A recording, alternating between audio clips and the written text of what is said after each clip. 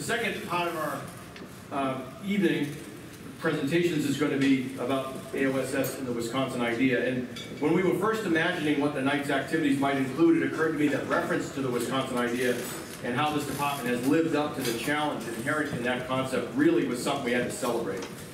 So nobody disagreed, and so I set out to find the best person I could to offer that testimony. And it didn't take me long to realize that the perfect person, a person who's been in the catbird seat for this topic for decades, was readily available. So when I asked Steve Ackerman if he would take on the challenge, he didn't hesitate. And when I first met Steve almost 30 years ago, I knew immediately that I'd come in contact with a bright light. He instantly radiated warmth uh, and a genuine colleagueship that quickly grew into a, a long, lasting friendship.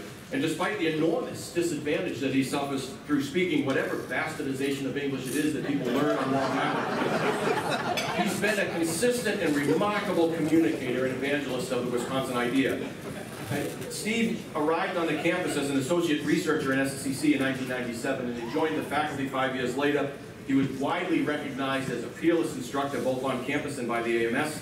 And then he set off, set off on a lengthy administrative career, during which he served as interim director of SSEC, 18 years as director of CIMSS, associate vice chancellor for research in the physical sciences, and finally as the vice chancellor for research and graduate education, a position from which he retired just a couple of weeks ago, actually. And in these many capacities, Steve has witnessed the power of the Wisconsin idea, and I was thrilled when he agreed to share some of his experience with us this evening. Unfortunately, COVID-19 uh, intervened. Steve tested positive earlier this week and he can't join us tonight. So I have to stand in and deliver his presentation, which he had prepared to give himself. So I'm sorry that he can't be here to do it. But the Wisconsin idea is the iconic philosophical foundation of the University of Wisconsin system. First articulated in 1905 by the then President Charles Van Hise, put into action in the Wisconsin legislature under Governor La Follette, and named finally the Wisconsin idea by author Charles McCarthy in 1912. And it's derived from the notion of the university as a community of scholars. People who strive both to attain an understanding of the larger world and to bring that understanding to bear on shaping the future direction of that world. Anyone who has spent any time around this university knows, with very little prompting, that we strive to do great things here. And here at Wisconsin, we are asked to go further than that to strive to share those things with the citizens of this state and the nation. And that signature desire is enshrined in this unique Wisconsin idea, which has guided the mission of this university and contributed to the construction of an enviable quality of life in this state for over a century. Recently, we had a governor who thought that wasn't such a good idea. And after he was exposed for his idiocy, he said that it was a drafting error. Now, a drafting error is picking Aaron Rodgers in the fourth round. Discrediting the Wisconsin idea is not a drafting error. This idea compels us to think about the borders of the university being the borders of the state. And in another way of thinking, and especially apt for our department, the pursuit of scholarship cannot be undertaken in the absence of fellowship. We have a very functional department, the most functional department I know of in our college. Because I had nine years as chair me going to meetings, and I know people don't really get along with each other in some other departments. We don't have that problem. We never have had that problem. That's remarkable. Weather and climate are ready-made for public engagement. They're ready-made questions for public engagement. Here's the storm ready designation from 2015. Familiar faces in there. There's Louis next to uh, dearly departed Chancellor Blank. There's Steve, Margaret Mooney, Shane Hubbard. A whole bunch of UW people from. Uh, the weather and climate enjoy wide public interest and represent the public's, I think, most familiar contact with science. And the engagement that we make with the public provides enormous educational benefit to ourselves, to our students, as well as providing a genuinely interested public an insight into the nature and importance of scientific work in a democratic society. I don't think there's anybody here tonight who would not agree with the fact that that's a critically important element of what we do at this university. Teach people how to think. We do not indoctrinate people. We teach them how to make decisions based on evidence and analysis. Weather and climate are excellent uh, topics for public presentations. Here's our dearly departed David and Barbara Houghton at the Houghton Symposium in 2006. Uh, and David made a habit of making talks around the state about climate change. And here's a quote from one of his papers uh, about that activity. Climate change is more than just an ordinary research topic. Scientists need to truly mingle and engage in discussion on the subject. Climate change issues involve our world community, our global environment, and our personal quality of life. And I'll say they add the challenge of we need to get people to agree and work together with each other. That's a challenge that no prior generation has faced, but the one that is graduating from our department now and in the next 10 years will be facing that for the rest of their career. Professor Verner Suomi gave lots of talks at community organizations, and they were mostly about satellites and benefits. Now look at this picture carefully. Both Suomi and the young lad that he's talking to are wearing jackets, autumnal sort of wear. He's got a fan out on the lawn, and it looks like maybe a, a, a plate full of water. He's definitely demonstrating some scientific principle on a not particularly warm day, but he's using a fan to do it. So he's always doing something to, to extend education beyond what was going on in his own lab. We, Steve and I, have been lucky enough through the efforts of Terry Gregory, who first wrangled us a one-time spot on Larry Meiller show in 1997, to be now regular uh, guests on the show once a month. We've been doing that since, well, for 26 years now. It's thrilling. He has a little audio bite here that he put in here, but I can't amplify it. But what it was is, Larry says he knows I hate the Farmer's Almanac. And so every year around this time, they'll ask me a question, so what do you think about this year's Farmer's Almanac, Jon? And I'll say something along the lines of, well, I refused, or it was Groundhog Day in this case. What do you think about Groundhog Day? I said, well, I refuse to surrender the intellectual reins of deciding about the weather and climate to a furry little rodent. I won't do that. And so we, and everybody in the studio laughs. We imagine the people listening laugh. They recognize that we're just regular people with a particularly strong interest in various issues.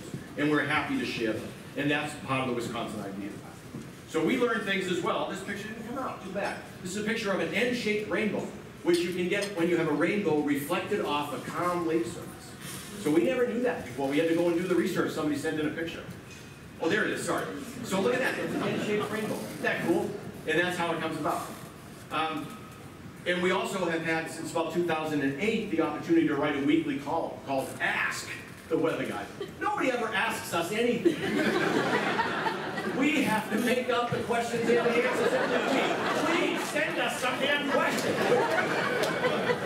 I mean, I'm telling you, I, how many times, go, well, I talk about Columbus coming across the ocean around this time of year. Right, I didn't hit any tropical cyclones. But I can't do that every year. I have to do it every fourth year or something, you know. I need more questions. But it's really great. I mean, I'm, I'm joking. Uh, we have this opportunity to talk about weather and climate issues from our professional perspective to a watch to a very interested audience. And occasionally the paper will let us make a comment on a politician, either nationally or locally, who is being willfully ignorant. At the beginning of our careers in this, they did not let us do that. They've always cut it down.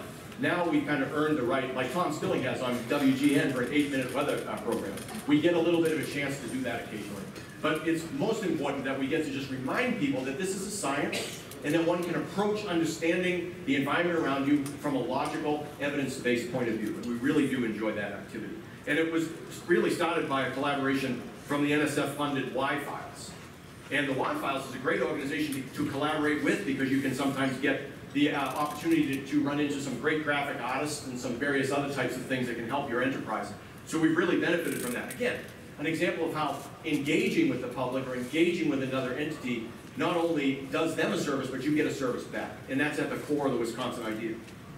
Uh, Badger Talks are organized by the Wisconsin Alumni Association. I'm sure I don't have a complete list here. Steve put this together and I didn't uh, do my own research, but some of the speakers have been Steve. I know Ankur's done it. I know Dan's done it. He's not on this list. I've done it a couple times. Till has done it. Undoubtedly others. And there will be others to come. And so this is an opportunity to go around the state and talk about what you're thinking about and what you're working on. And people love it. They just love it um, to, to hear from people like us. One of those talks ended up at the fifth symposium on education in Atlanta a couple of years ago, uh, and it was the wreck of the Edmund Fitzgerald storm. And uh, the storm, I should say, and the song. And John Knox and Steve have done a really uh, bang-up job on that story, so it's really quite interesting.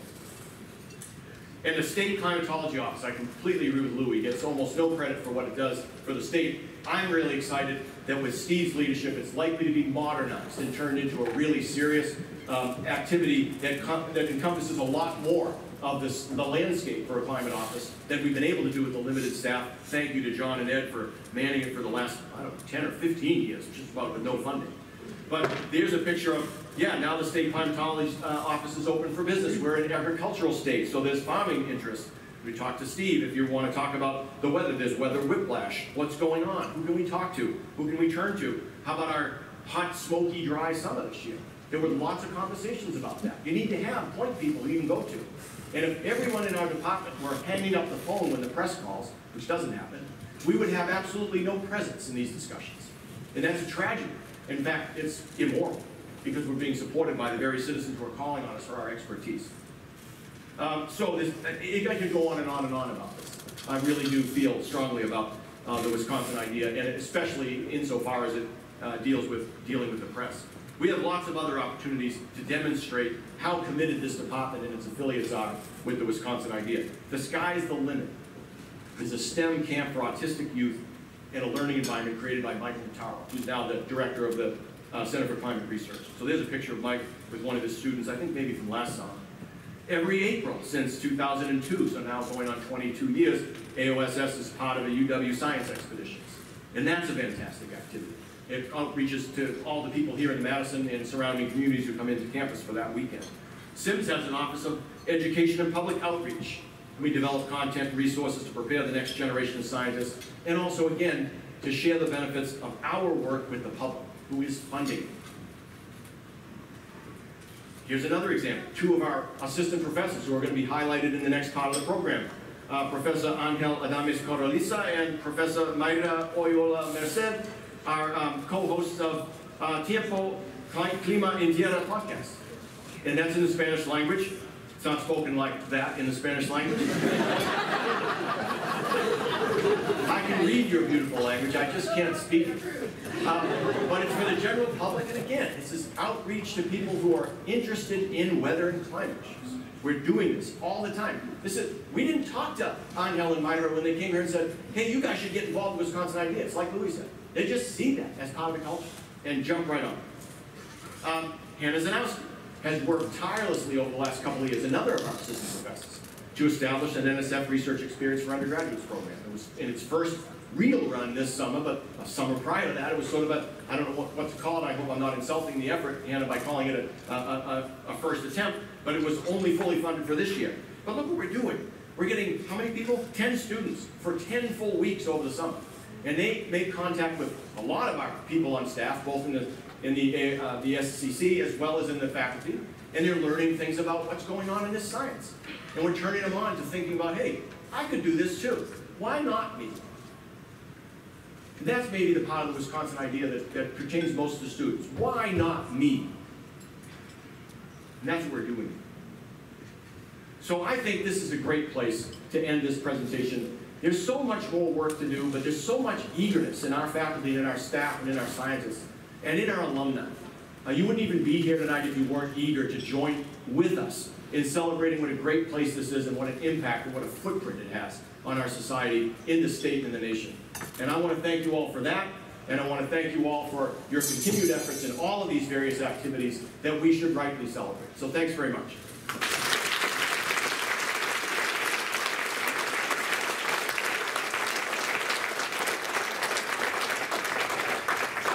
Now, I'm a stickler for time. If I'd put this presentation together, I would never have ended it with questions. No.